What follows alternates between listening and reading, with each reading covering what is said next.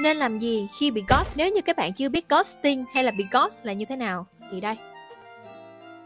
sau 3 năm lướt lên trên TikTok thì đây là những điều mình đúc kết được. Điều số 1, hãy đưa ra cho họ một tối hậu thư. Tối hậu thư ở đây giống như là một lời cảnh cáo. Nếu như mà thật sự bạn có ghosting tôi thì tôi sẽ block bạn, tôi sẽ rời khỏi cái mối quan hệ này. Nói chung là mình đưa ra cho họ một cái thông điệp cuối cùng để mình thực sự có thể xác nhận được là họ có đang ghosting mình hay không. Nếu như cái trường hợp là bạn bị block hết tất cả, họ thực sự biến mất và bạn không còn cách nào để liên lạc với họ thì thực sự là bị ghost rồi đó thì cũng không cần phải làm hành động này nhưng mà nếu họ vẫn không trả lời tin nhắn của bạn nhưng mà họ vẫn online bạn và họ vẫn có thể sẽ kết nối chẳng hạn thì hãy đưa ra cho họ một cái tối hậu hậu thư và sau đó nếu như họ không có bất kỳ sự hồi đáp nào thì